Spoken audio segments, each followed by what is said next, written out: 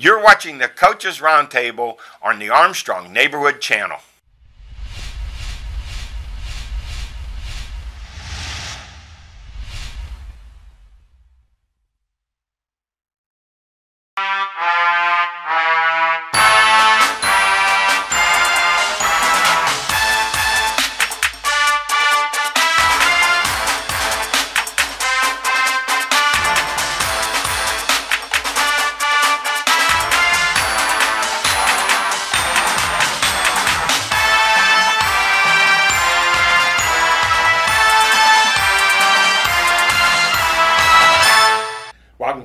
Roundtable. I'm Ed Codi, and welcome our guests from Pine Richland High School, Boston College quarterback Phil Jurkovec. Phil, thanks uh, for coming on the show. I know you're busy with summer workouts, but um, how are things going for you?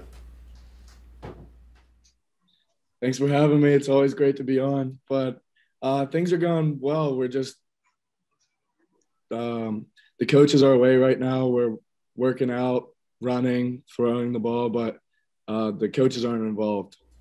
And let's look at last year, Phil. Your first year at BC after transferring from Notre Dame. You lead the Eagles with a six and five record, five and five ACC, and you gave Clemson all they could handle before you lost. I think it was thirty-four to twenty-eight. Then you beat your hometown team, Pitt, thirty-one to thirty. How great was that? You had a great game, three hundred fifty-eight yards, three touchdowns no inter- interceptions. And you, you for the year you threw for 2,588 yards, 17 TDs, and only five inter- interceptions. The Eagles were third in the ACC in passing, 24th in the country. Phil, when I watched you play last year, I said that's the Phil Jurkovec I saw play quarterback at Pine Richland, confident and comfortable. What happened there that made you so comfortable with your play with coaches Hafley and your offensive coordinator Frank Cignetti? Yeah, I think it comes down to them and the the culture that they're creating. Um, just allowing us to be ourselves. They they understand that uh, quarterbacks have different styles. That everybody's got their own unique style, and so you kind of have to just uh, let them bring it out instead of trying to I don't know box you into some certain uh, certain way of playing. But yeah, I mean it's just relaxed. They're all about um, playing relaxed, having fun with it, and just letting it go, uh, playing loose. Did, did Cignetti recognize that you you have big play capabilities and, and tell you when you're out there, do what you feel you're comfortable with? It seemed like that when I watched you play.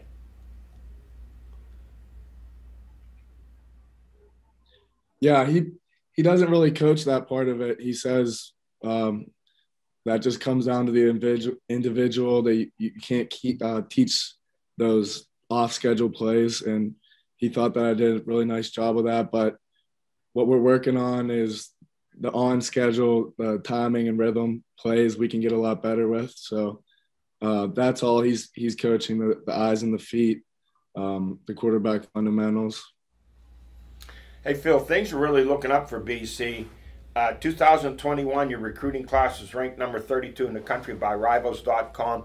Rivals ranks your number 22 class 10 in the country. That has to be the highest ranking for a recruiting class ever at BC. What's turning all of this around? I really think it's Coach Hafley and the staff that he's bringing in. Like, there's a lot of buzz, there's a lot of energy and excitement in the area around Boston with Coach Hafley. He's young, he's got a lot of uh, energy. So I think it really just comes down to him, the way he recruits having been recruited by him, he's just real, um, yeah, authentic, and he's gonna go out of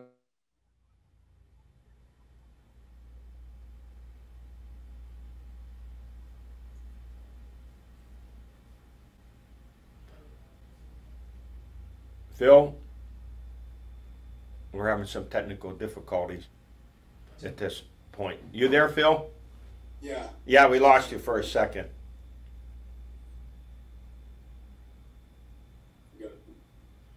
All right, you back? Okay, we had a little technical glitch there. Uh, you're you lose your top receiver in Hunter Long, but you have three wide receivers returning, including Zay Flowers, who had 56 catches, and then Jalen Gill and C.J. Lewis. Plus, you have nine starters back on offense. The offensive line's back. Big expectations for you guys this year. Yeah, I think uh, starts with us. We have a lot of uh, expectations for ourselves. Um, we're we're a lot more comfortable with the offense. I think last year was tough with uh, the COVID gap where we were all back home, like trying to learn it via Zoom.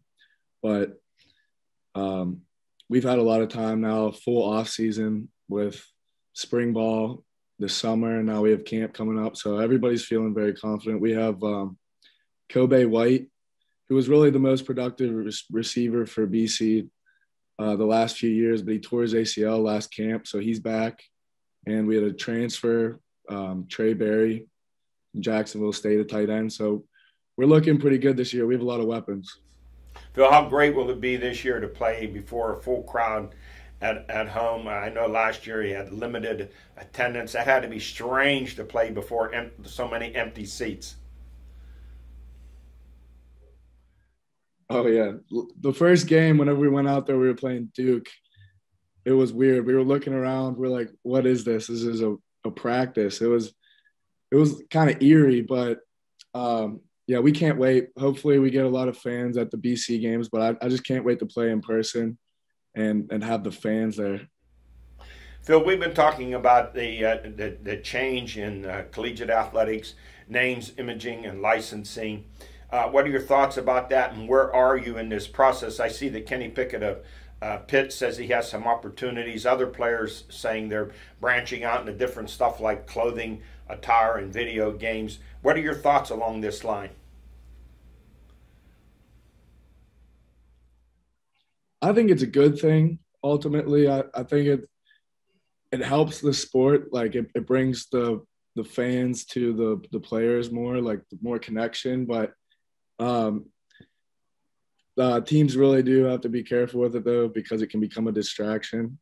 I can I can see how easily it, that uh, comes into play where people are putting making money on the side over football. So you just have to keep your priorities straight. But I'm definitely interested in some opportunities, you know, on the side here in the summer or whatever, uh, to make a little bit of money. But really, the the amount of money that you can make through this is nothing compared to what you're going to get with the degree or the chance to go play in the NFL. And Phil, speaking of your degree, what are you studying at Boston College? Economics.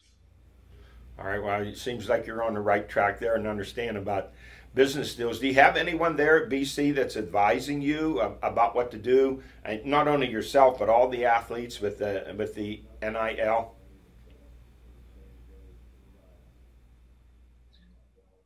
The compliance office has met with us and kind of given us the rundown, but um, nobody that's really not yet. I, I, mean, I've had people that have reached out to me wanting to help, but I haven't really committed to anything yet. Phil, several weeks ago, our uh, male athlete of the year was Pine Richland quarterback Cole Spencer. Becomes the third Pine Richland quarterback in the last six years to win that award, following you and Ben DiNucci. How how great is that? I don't know if we'll have a, a school ever um, match that again for us. Pretty pretty significant. Oh yeah, I mean that's awesome. Great for him. Cole's hard worker, and he he's gonna do great um, with wrestling. But yeah, I think it's a, a combination of factors: the offense that we played in, the that allowed us to thrive, and definitely the coaches uh, especially Coach Yoakum, the quarterback coach who was there, um, starting with DiNucci. So, I mean, he helped us so much with just understanding the game and, and playing. Well, Phil, thanks for taking time out. Uh, the opening game, it's just around the corner when you open up with Colgate on September the 4th. I wish you great luck, have a great season, and I'd uh, like to have you back anytime. Thank you, Mr. Codi. I appreciate it. You're welcome. Go Eagles. I'll be right back with Ellen George. High school sports, community events, all of your favorite local shows are calling the Armstrong Neighborhood Channel their home. Find out everything your neighborhood has to offer on Channel 100 or on YouTube. Spirit, Town Pride, local communities. This is the Armstrong Neighborhood Channel. I'm back, joined to my right by the Swami, George Abraham, to my left by the Tiger, Albert Campman. Guys, it seemed like yesterday Phil Jurkovec was on here as our Male Athlete of the Year. Heads into his fourth college year. He has this year and next year to go at BC. And, and one thing I said to him, you guys tell me if you noticed it too, when I watched him play last year for BC, he seemed like the quarterback I saw at Pine Ridge, confident and comfortable in what he was doing in big play capability. Yeah, I think the coach realized what he's capable of doing, and they put a good system in for him. I mean, the system was there. Let's put let's take that back. Field chose a good system for him.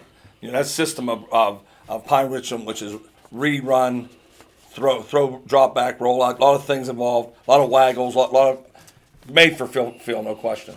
And how about this? BC's recruiting class of 2021 was ranked 32 in the country by rivals. Their 2022 class is ranked number 10 by rivals, the best they've ever had. Well, the coach came from Ohio State, correct? Yeah, and, he, uh, and he so- coached at Pitt so, for a while. Yeah, so you know, uh, Don't hold that against them. and Cignetti. you know that uh, um, they know the value of recruiting.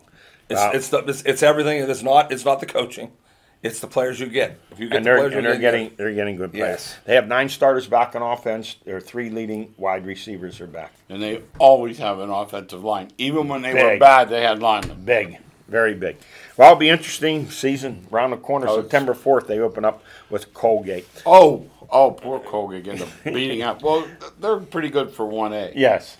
Let's go to Spotlight. Uh, Major League Baseball, former Seneca Valley High School quarterback and baseball player Kevin Smith, who's now 33, a backup catcher for the Braves, made his first appearance ever and played at PNC Park. I, I swear it was yesterday with him that we were talking about him playing at um, Seneca Valley and going on to Pitt as a quarterback, and now he's 33 years old. Yeah, we were we were, were shocked that we weren't what knew what, what sport he was going to. All of a sudden, he shows up in baseball. I remember him from football. That's Going to interesting. Pitt? Yes. Uh, and uh, Nike Outdoor Track Nationals in Eugene, Oregon. How hot was it out there a week ago? Butler track star C.J. Singleton, he was seventh in the 5,000 meter run, and Skylar Vavra was 10th in the steeplechase. Wasn't it well over 100 out there a week One was ago? 117. So hot. They moved So it hot. to midnight, and it was still hot, but it was 117. And uh, retirement, longtime Seneca Valley High School softball coach George True retires after 28 years and 250 career wins. Uh, recruiting news, Pine Richland linebacker Jeremiah Hazley, 6'3", 225, he commits to Duke. Hazley was a starter in last year's undefeated 11-0 team. And in girls track, Butler grad Alexia Meckling, she is committed to Penn State. Meckling placed fifth in the WPIAL in the high jump and qualified for the PIAA this past spring. Our stories of the week, let's go to Major League Baseball draft. The Pirates take highly rated catcher Henry Davis of Louisville. Big kid, 6'2", 210, past season, 15 home runs, 48 RBIs, 370 batting average. They say he has one of the great arms of the catchers in college baseball. Needs some work defensively. I don't think that's any big deal. What do you guys think about the pick? Well, the the reason I liked it, it was not so much it was Henry Davis. It gave room to take three to, three other top fifty players the next three three picks. They, if they would have taken li- lighter, they could not have paid for that. So so I think Cherington was thinking of that. You know, let's get four great, very, four very good players instead of one. I, I will see how it works out. Um, I told George before, I don't like taking pitchers in the first round. I'm always scared that you end up wasting a pick because the Tommy John they go, their arms go, and so I, I, I'd rather have a, I'd rather have an everyday player in the first round. I, I like shortstops because they're such good athletes. They're the too. best athletes They, going, they, yes. You could move them around. They could play another Right. They position. got about six in their system It can't hit. Isn't that a shame? Uh, that that's true. And we know. L- listen, the same thing we say about pro football draft. This is not an exact science. You don't know who's going to turn up. They've had a couple of good ones like Jason Kendall and Gerrit Cole. Jeff King was okay, Mm-hmm. but as a number one pick, he wasn't sensational. So you just and they've had a lot of guys never even made it to the majors. Yeah, it's a crapshoot. Can't say any better than that. Uh, first of all, if you take a high school kid, you're never sure. You see the ability, but you're not sure.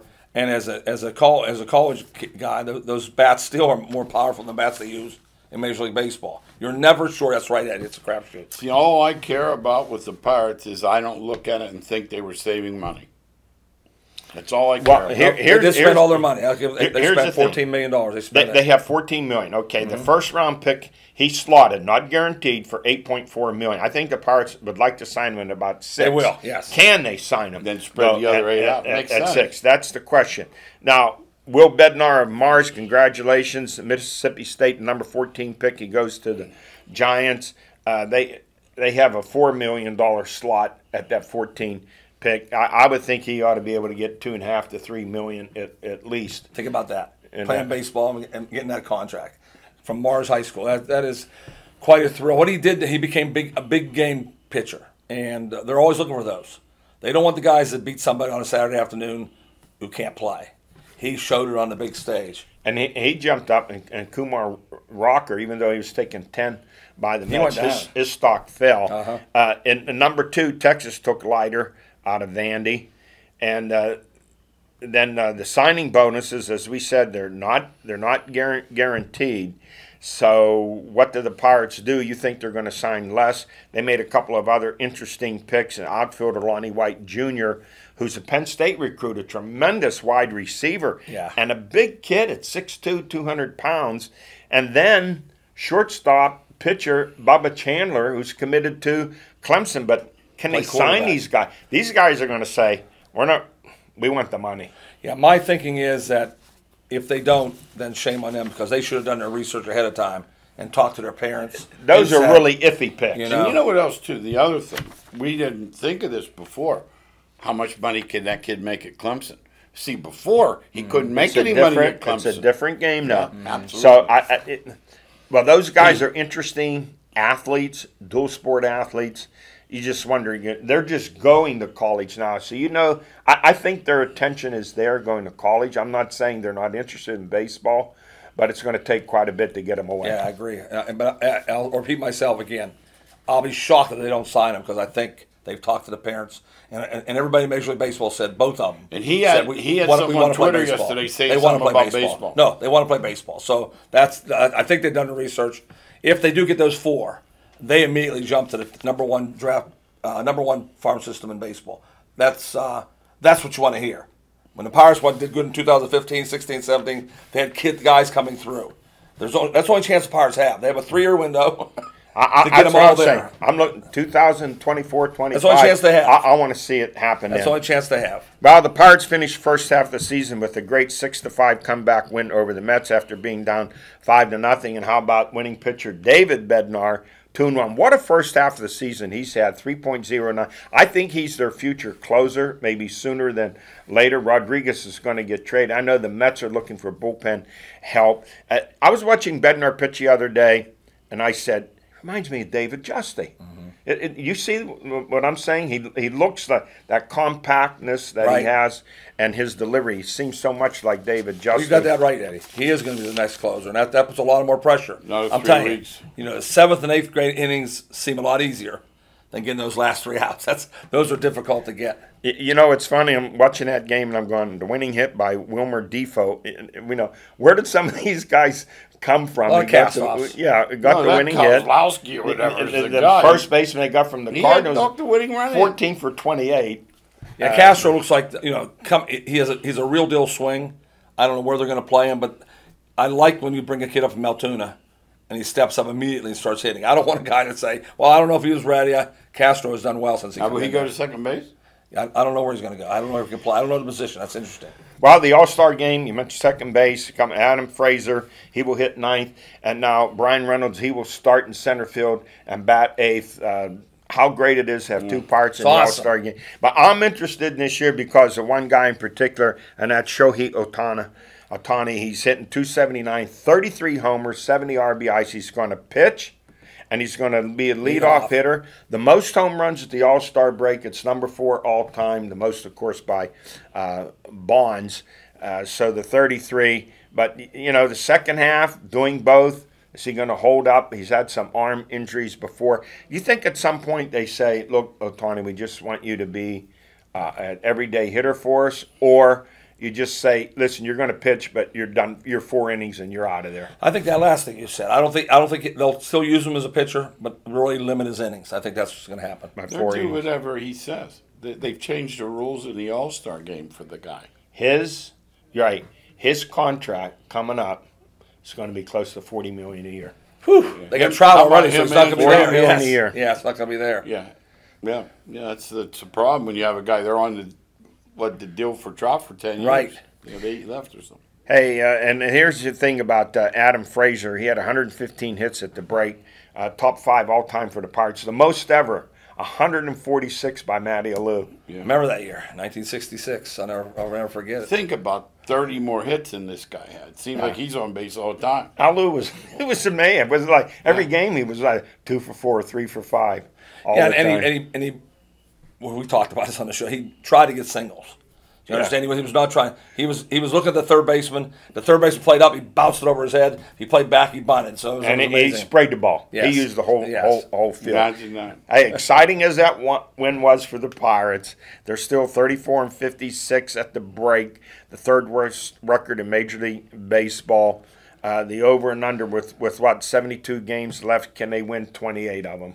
29, 29 to get under 100 loss. I don't think it matters. They're going. lose 100. They're, they're, they're to losing 100. Uh, I know they're losing. I just don't know how many. They're They need to lose 104. That's I know. But they're losing 100 because you know you're, you're. We're almost positive sitting on the show that Frazier and Rodriguez are going. at least. we're almost and maybe the guy with Yeah. the big beard We- you know, that started hitting Gamel, the ball. yeah, that's right, yeah. Gam- Gamel. Yeah. I hope they do sign um, Reynolds. I hope they sign Reynolds to make. I'll be disappointed if You know, I hope don't. they. I hope they do just because He's one of the least- best At least have one. At least have one game. player that we that the kids star. can the kids can root for.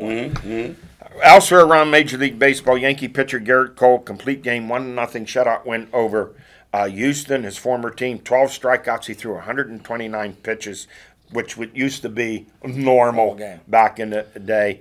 And then how about this uh, Marlins pitcher Pablo Lopez, a Major League Baseball record? He struck out the first nine Atlanta Brave batter. What was he throwing? Golf balls. I never heard of this. And you know what hurt the Braves?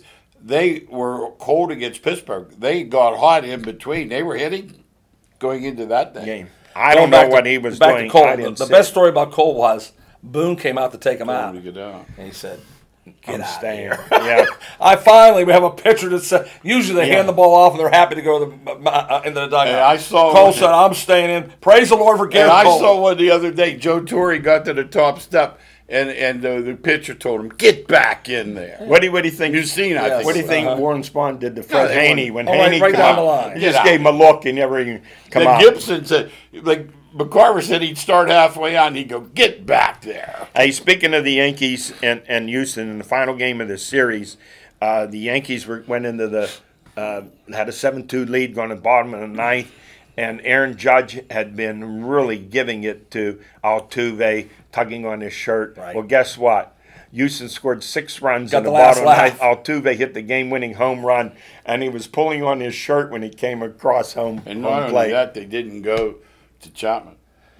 Yeah, that is concern. I- I- Any Yankee fan watching us today Yeah. has to say we're paying this guy that much money to not bring him in. To not bring think, him think of that. That's Right. crazy. That's ama- Right. it's amazing. And I'm going to say this, and I might be the only one thinking like this. All this stuff about Houston cheating before, which is part of baseball, they've cheated and been stealing signs since Ebbets Field, the Polo Grounds with cameras in Boston and everywhere. If Houston wins the World Series uh, again without anything, that would be a story. Yeah, and that's what and then people root against them because of that. They want they want to say proof that they can only win Cheating. with cameras. You know, so we'll see what happens. But they won't say anything about their own team. No, uh, no, uh, no. uh, uh, doing not it. Boston. That's right. No, the White Sox. They said the one guy, he, said- that Jack McDowell said, "I'm telling you, they had film set up in the other room."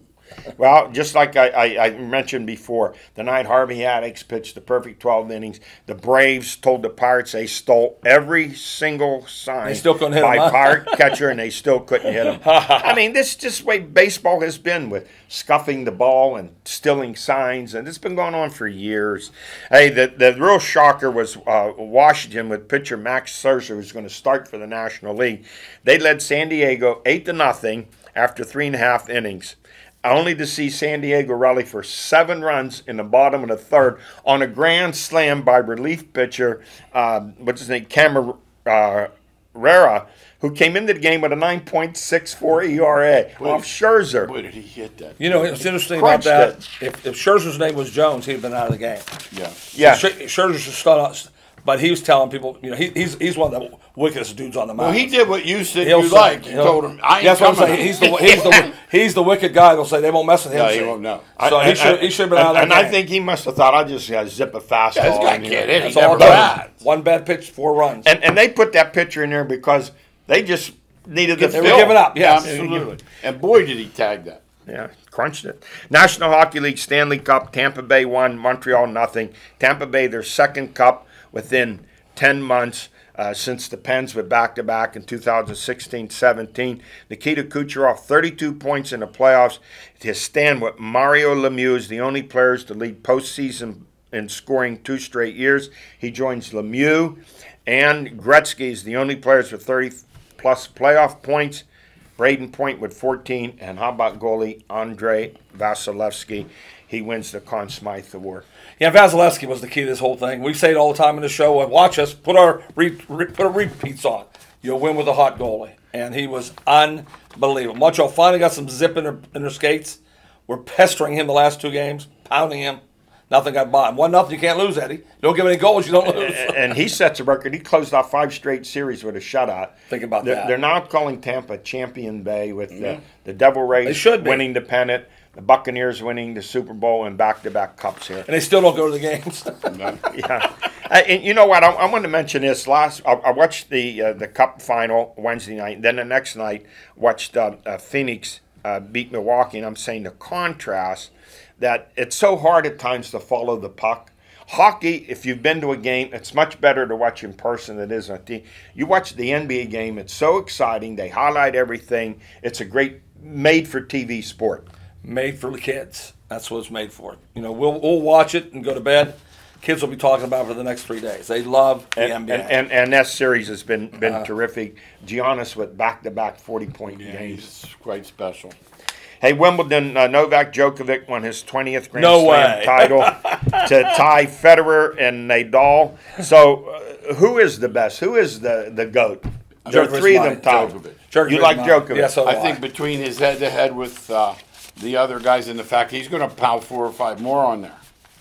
Yeah, he can he, he can win more of a variety of ways than than Nadal and, and uh, Yeah, Federer. yeah, like Nadal, if, if it's not uh, Clay. Clay, you Yeah. don't think he's going to win. This guy, Any, any He's tremendous. yeah.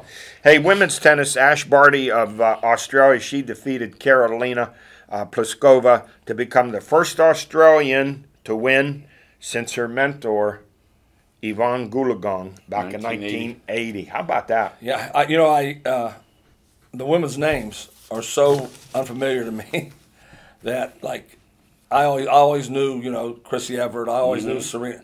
These names I get them mixed up, so I have to say, is that girl from Serbia? That girl from uh, England? Is that girl from Russia? I was Russia? watching one You day. know. I was watching one day and didn't know which one I had. I was, I was trying to figure out. They both had these long names, and I'm looking and I'm seeing well who had the service because, as you say, most of the names are not familiar. yes. No.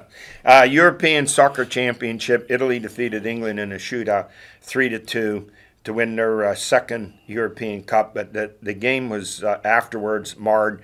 Uh, failed goals by uh, two England players who happened to be black, saw them the Oh. recipients of racial slurs and death threats. Uh, are we Oh, surprised? jeez, We're they disappointed. Are we pathetic? surprised? Are they How sick Hey, these yeah. fans you know. I heard about it. I don't follow it as closely. The, the kid that took the last shot was 19, and they were saying that was a terrible job of stacking those shooters.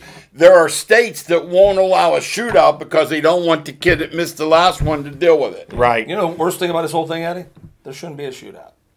Just keep You playing. understand? Yeah. Keep there playing should be side no path. shootout. The, the- that'd be like a Major League I Baseball agree. Home run derby. home run derby. Yeah, I agree. Deciding the play. It's, I it's, agree. It's, it's, it's I play agree. the game, and, and I don't care if it takes all night.